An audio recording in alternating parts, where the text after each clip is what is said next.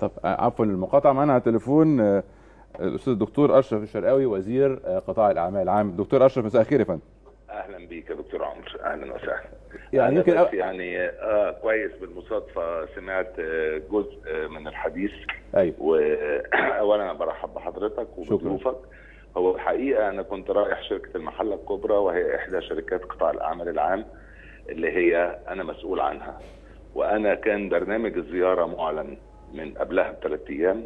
أنا رايح أزور عمال المحلة الكبرى. هم عمال مصر الشرفاء. هم العمال اللي شايلين هذه الصناعة. رايح ألتقي بيهم في المسرح. ألف عامل زي ما قالوا. ورايح ألف في المصانع وأدي دفعه للعمال.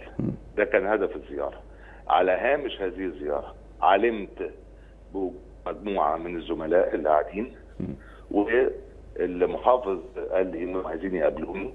وطبعا أنا مش مسؤول عن ملف الصناعة بصفة عامة أنا مسؤول عن قطاع العمل العام ولكن قعدت وشرحت فيهم وقلت لهم أسباب ارتفاع الأسعار وهي ارتفاع أسعار على آه، شركات القطاع العام العام والخاص آه، زي آه، تغير سعر العملة وزي ارتفاع أسعار الطاقة وزي ارتفاع أسعار القطن في البورصة العالمية من 63 سنت ل 84 سنت. ولكن أنا طب برنامج عفوا يا فندم هل ده. مبرر منطقي لرفع الأسعار على الناس دي؟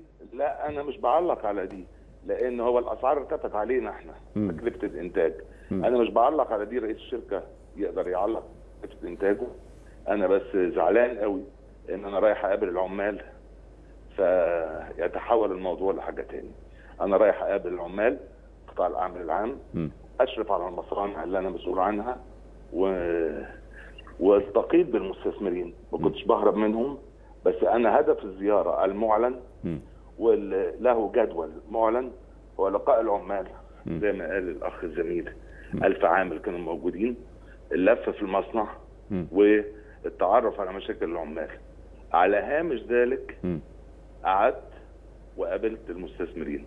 كنت أتوقع يعني إن ألاقي إن آه، الإخوة ال- ال- اللي مع حضرتك أنا سمعت جزء من الحديث مم. إن يقولوا يعني هو جه علشان يقابل العمال وقابلنا ودي حاجة كويسة إنما أنا فوجئت إن بيقول بتهرب منهم والحقيقة ما كانش في جدول الأعمال خالص اللقاء لا هو يا. فندم هو في معلومة هل صحيح إنه تم التعرض لأحد النواب تم الاعتداء على أحد نواب مجلس لا النواب؟ أنا أنا جيت ولفيت في المصانع آه عرفت بعد كده من الأخ النائب إن آه، أمن المصنع ما كانش عايز يدخله.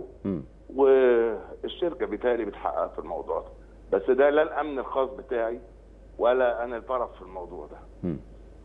و... طيب دكتور هل فعلا كان وقد آه، يكون كان مع سيادتك في هذه الجولة بعض المستثمرين كان الهدف أنا كنت لوحدي ولابس كاجوال حتى آه آه، ومعايا ال- مدير يعني مكتبي. تردد إن في بعض المستثمرين كانوا مع حضرتك وإن كان في توجه. لبيع بعض الأراضي هناك ليهم أو خصخصه. بعض المصانع ليهم حاجة كويسة أنا رايح أقابل العمال مم.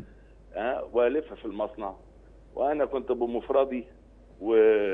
ولو معايا ناس يبقوا ضيوفي أنا وسام بس ما كانش معايا حد الحقيقة. أنا كنت بمفردي خالص وماشي بلبس كاجوال في المصنع بلتقي بأهلي.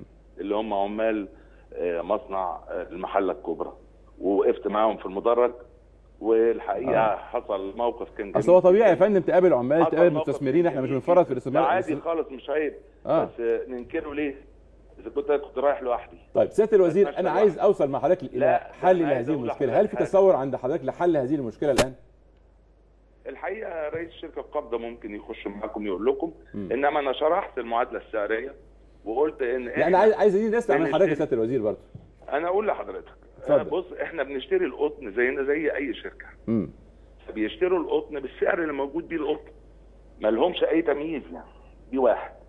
نمرة اتنين إذا كان سعر الدولار في شهر فبراير مارس حصل تخفيض للعملة بحوالي 14% امم وبالتالي أي غزول مستوردة أي اقطام مستوردة ارتفع سعرها 14% سعر القطن زي ما قلت لحضرتك زاد حوالي 30% من امم 60 سنت حاجة و60 سنت لحاجة و80 سنت.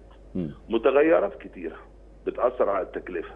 مم. بس أنا نفسي حضرتك تشوف إن العمال ال يعني ال ال كان موقف جميل قوي. إن السلام الجمهوري ما اشتغلش السماعات. فالناس ما سكتوش. غنينا السلام الجمهوري كلنا بتاع مصر بصوت عالي وجميل ب... ب... بحاجة لسه عمالة يعني تخبط في وداني. ده كان جميل قوي لكن في حد معايا وأنا كنت لوحدي. يعني إحنا بس بنحاول لا دي نوصل اللي صعبان عليا عارف حضرتك؟ أيوه. إن أنا قعدت اليوم كله في جدول أعمال والتقيت بالسادة. آه، الضيوف وقعدنا مدة بعدها.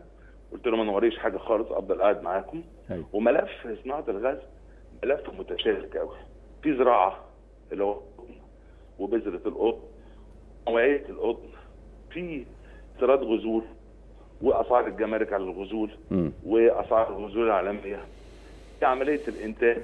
في بعد ما يا فندم التطوير. وجود سيادتك هناك كان الملاذ الأخير ليهم عايزين يلجأوا ليك يا سياده الوزير. ما أنا أنا الحقيقة الحاجة اللي عملتها النهارده إن أنا قلت علشان نكسر الحلقة الأخيرة في اللي هي رفع الأسعار أيوه. الغير مبررة اللي خارجة عن نطاق الشركة امم إن إحنا آه، نقول للشركات أي مصنع صغير عايز نص طن عايز طن يبيعوا له على طول ما يبيعوش لتاجر ياخد بكمية كبيرة وهو يبيع بعد كده بمكسب فرق في الأسعار فنكسر حلقة في حلقات التسويق تخفض في تكلفة الطن وأعتقد لو كلمتوا المسؤولين اللي هم التنفيذيين رئيس الشركة القابضة و أو رئيس شركة المحلة يشرح حضراتكم المعادلة السعرية اللي ماشيين بيها ودي بتغطي تكلفة الخام يعني يا فندم ما فيش رجوع اتفضل. عن التسعير الحالي ما هي الخامة لو نزلت هننزل بيها ده دي ماركت يا فندم.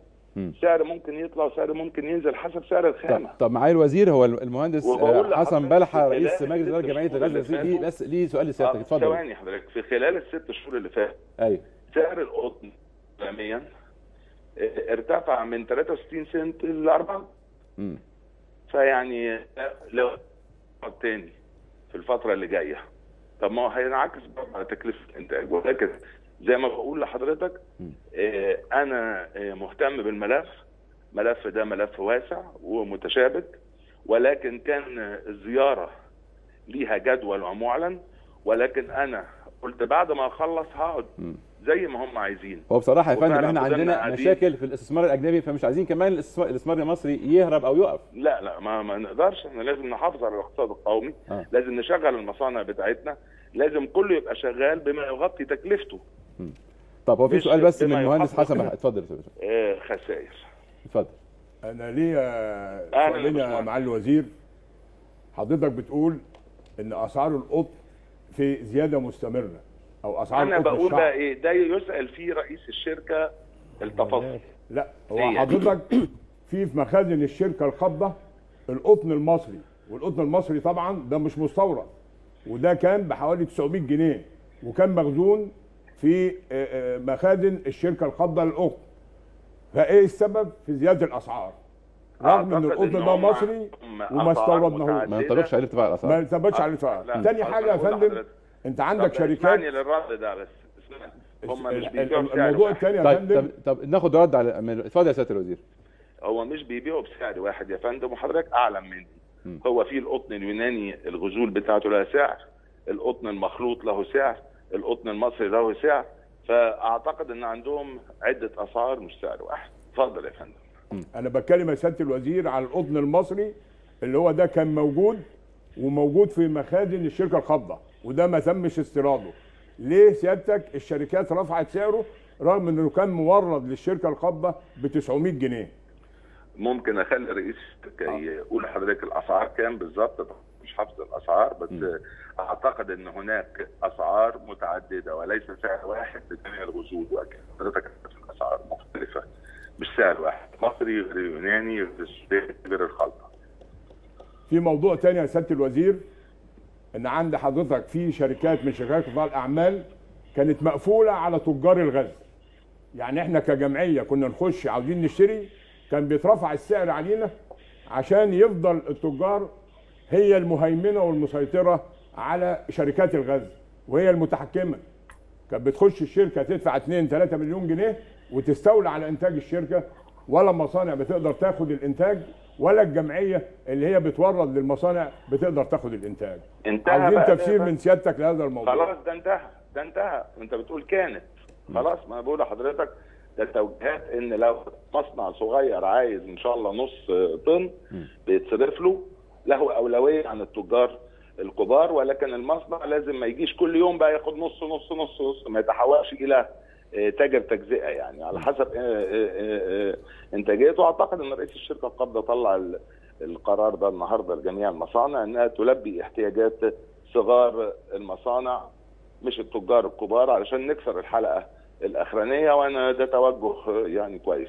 إحنا هنحاول نجيب السيد رئيس الشركة القابضة آه يا ريت يا آه. ريت حضرتك. شكرا معالي الوزير آه. دكتور أشرف الشرقاوي وزير آه، قطاع الأعمال العام. والمرة الجاية لو رحتوا معايا مستثمرين ادعوا حضراتكم وتقابلوهم. لأن مفيش حاجة بتبقى مستخبية خالص. بس أنا المرة دي كنت لوحدي اعتقد إني كنت قاعد معاكم لوحدي في الأوضة حوالي 40 واحد حضراتكم وأنا كنت قاعد لوحدي. شكرا لحضراتكم. شكرا سيادة الوزير. شكرا آه،